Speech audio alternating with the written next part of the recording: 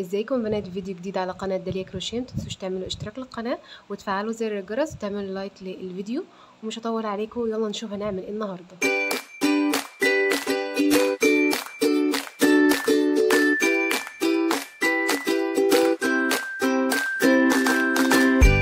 في الفيديو ده هنشتغل الوحدة الصغيرة دي. الوحدة دي سهلة جدا في شغلها.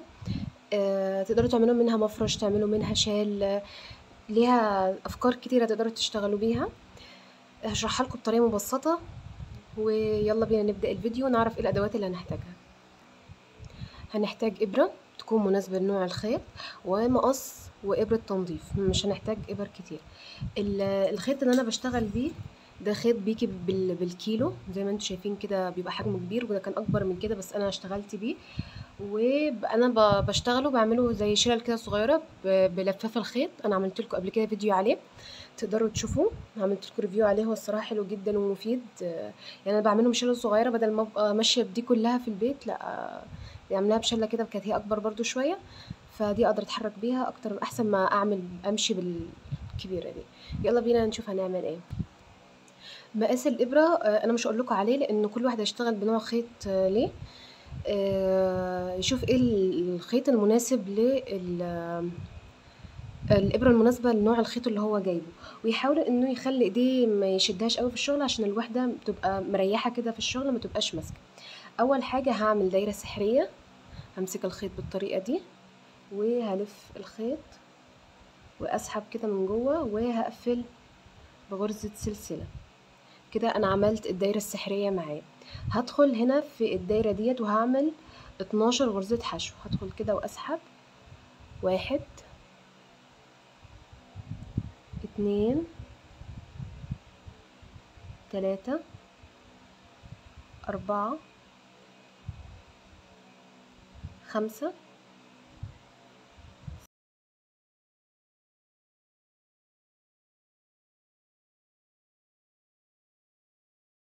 الغرزة رقم اتناشر. هشد كده معايا الدايرة بالراحة عشان أقفلها. وهاجي عندي هنا في أول غرزة حشو عملتها. هنا. وهدخل وهعمل غرزة منزلقة.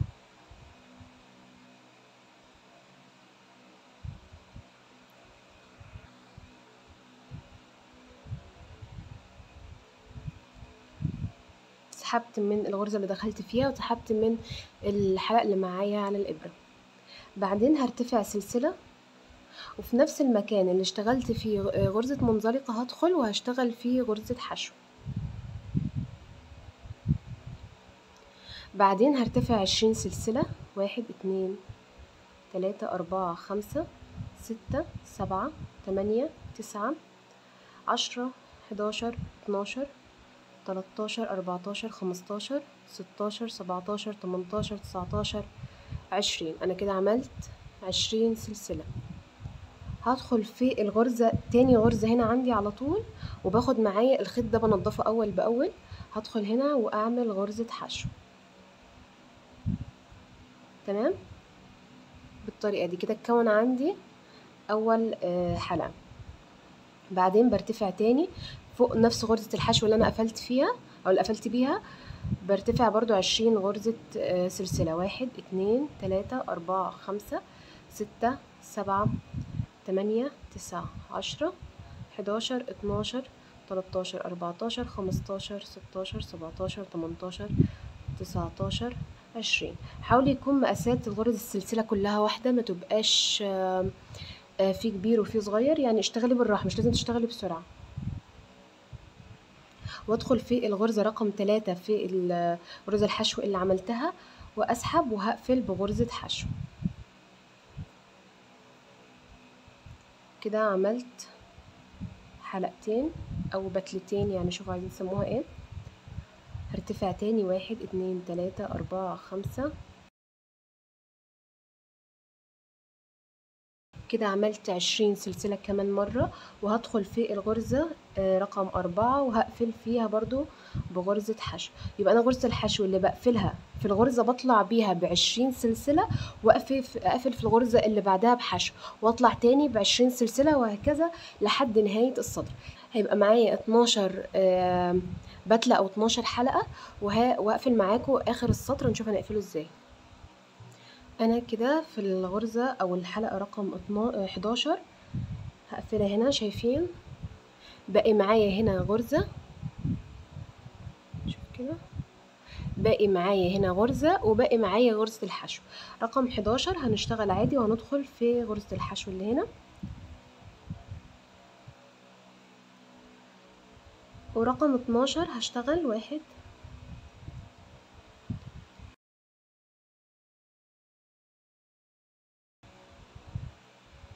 اشتغلت عشرين سلسلة وشايفين غرزة الحشو اللي كانت معايا اللي أنا عملتها في الأول هدخل فيها وهعمل فيها غرزة منزلقة.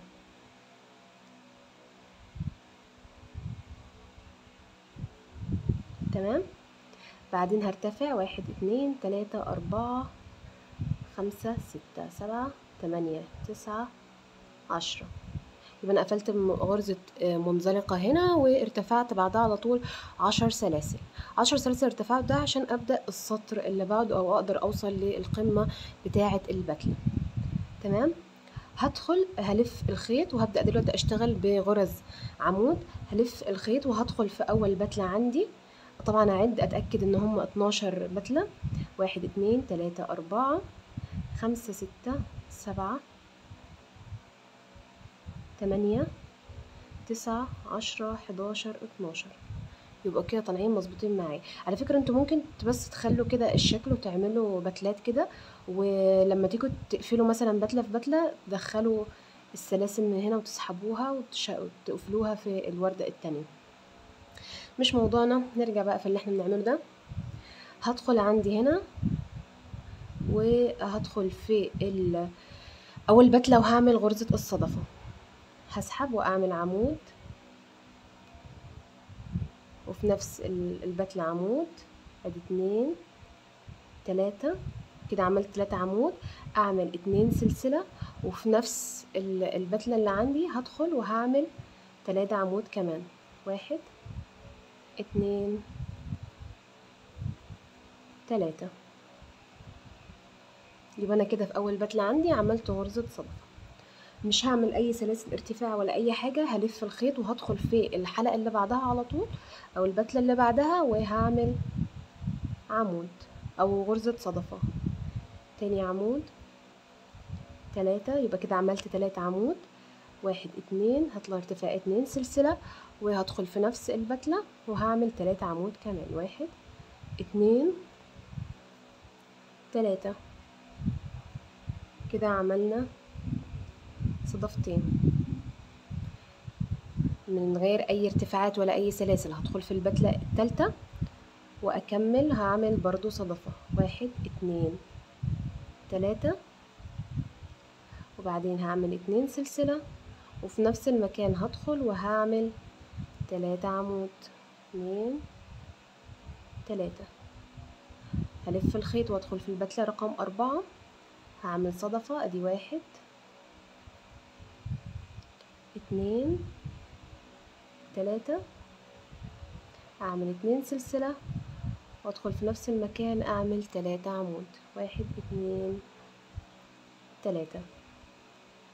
وهكمل بنفس الطريقة دي في كل البتلات. هشتغل فيها غرزة الصدفة تلاتة عمود اتنين سلسلة تلاتة عمود. أه وأتأكد برضو إن أنا هشتغل في ال 12 حلقة. ما يبقاش في حلقة أه ال 12 بتلة. ما يبقاش في بتلة مثلا واقعه منكم من ورا أو حاجة. تمام؟ هكمل وأرجع لكم. خلصت السطر بتاع الصدف ده كله واتأكدت إن أنا اشتغلت في كل البتلات هاجي هنا عندي في الغرزة رقم عشرة من السلسلة الموجودة هنا. هدخل فيها وهعمل منزلقة. تمام؟ بعدين هرتفع. بصوا ده شكل السطر بتاع الصدفة. هي دي في الآخر التموجات دي كلها هتتظبط في آخر الشغل بس هتحتاجوا إن أنتوا تشدوا بس البتلات من جوه. نكمل. هرتفع سلسلة. وهدخل في الغرزة اللي أنا قفلت فيها بمنزلقة. ومن هنا. تمام؟ وأعمل فيها غرزة حشو. هرتفع اتنين سلسلة واحد اتنين. فوق غرزة الحشو وهلف الخيط شايفين المكان اللي إحنا اللي هو هنا السلسلتين اللي عملناهم اللي هي في نص الصدفة.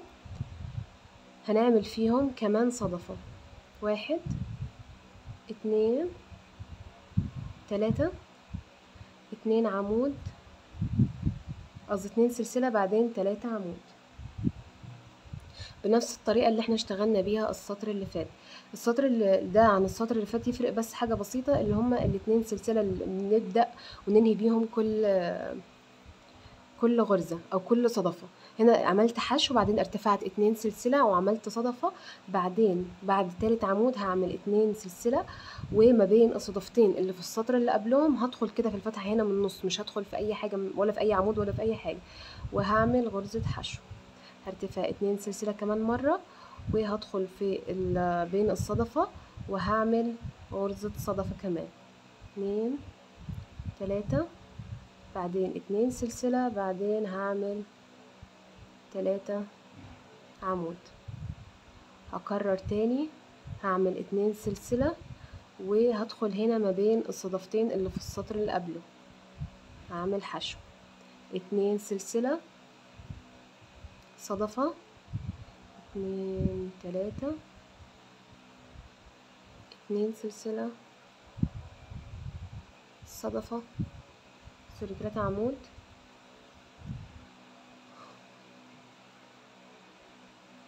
بعدين هعمل اتنين سلسلة وهدخل هنا في ما بين الصدفتين. وأكمل بنفس الطريقة ديت لحد نهاية السطر. باقي لي هنا آخر غرزة صدفة. هنا عملت حشو بعدين هرتفع اتنين سلسلة. وبعدين هعمل هنا غرزة الصدفة.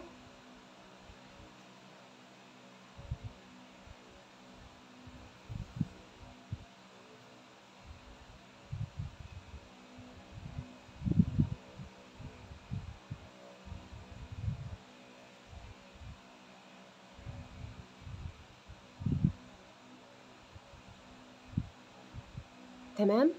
كده أنا خلاص وصلت لنهاية السطر هعمل اتنين سلسلة وغرزة الحشو اللي إحنا ابتدينا بيها في الأول هدخل فيها وهعمل غرزة منزلقة. وده شكل السطر التاني.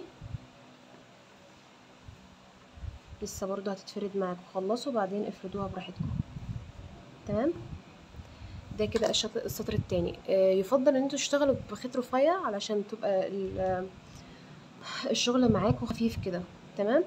هرتفع كمان سلسلة. ده السطر الأخير هرتفع سلسلة.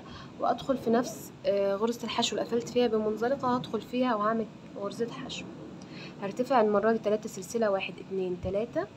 وما بين آه، هنا عند الصدفة السطر ده هيختلف في إيه؟ إن إحنا مش هنعمل صدفة هنعمل خمسة عمود وما بينهم غرزة بيكو يبقى هنا ارتفعت تلاتة سلسلة. وهعمل واحد اتنين تلاتة. أنا كده عملت تلاتة عمود. هعمل دلوقتي غرزة البيكو. غرزة البيكو بتتعمل إزاي؟ برتفع تلاتة سلسلة واحد اتنين تلاتة. وبدخل هنا شايفين الحلقتين دول اللي هم بتوع العمود. بدخل فيها وبعمل غرزة حشو. بعدين بعمل اتنين عمود. شايفين؟ ده شكلها. عملت تلاتة عمود بيكو اتنين عمود. هعمل تلاتة سلسلة واحد اتنين تلاتة. وهدخل بغرزة حشو فوق الحشو السطر اللي فات. تمام؟ بعدين بعمل تلاتة سلسلة واحد اتنين تلاتة. هعمل تاني. تلاتة عمود واحد اتنين تلاتة.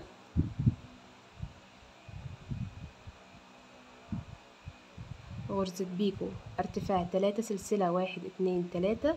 وادخل هنا في العمود آه، في الجزء بتاع العمود اللي هنا الحلقتين دول. واسحب الخيط هيبقى عندي حلقتين على الابرة دي حلقة والتانية. وهعمل هسحب منهم. كده أنا عملت غرزة البيكو. شايفين هي دي شكلها. دي شكل غرزة البيكو. هلف الخيط وأدخل. وأعمل عمود. والتاني. شايفين شكل السطر الأخير عامل إزاي؟ كمان مرة إن أنا أعمل تلاتة سلسلة.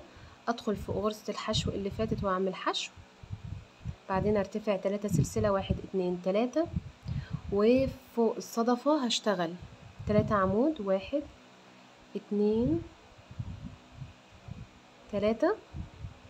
بعدين هعمل غرزة بيكو هرتفع تلاتة سلسلة واحد اتنين تلاتة. وهاجي عند الحلقتين اللي من هنا شايفين؟ هي هنا تحت على طول التلات حلقات هنا من الجنب. هعمل حشو. بعدين هرجع أشتغل اتنين عمود في الصدفة. وهكمل هعمل تلاتة سلسلة وهقفل بغرزة الحشو فوق غرزة الحشو. هكمل بنفس الطريقة دي لحد نهاية السطر وأقفل معاكم السطر. وصلت هنا لحد نهاية السطر. وهنا هشتغل تلاتة سلسلة.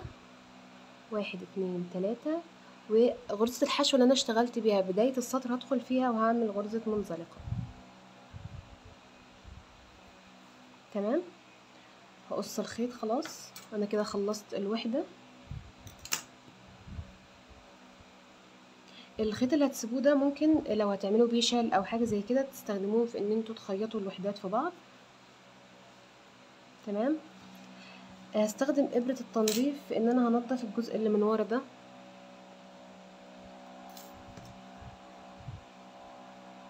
هدخل هنا تحت الحلقات اللي من ورا. أنا بدخل بالإبرة الأول لأن الفتلة اللي معايا هنا قصيرة. أنا كده أصلا مثبتاها تحت الشغل بس يعني هي زيادة تاكيد بس مش أكتر. كده تمام وأسحب معايا كده الخيط. وأحاول إن أنا أضيق معايا الدايرة شوية.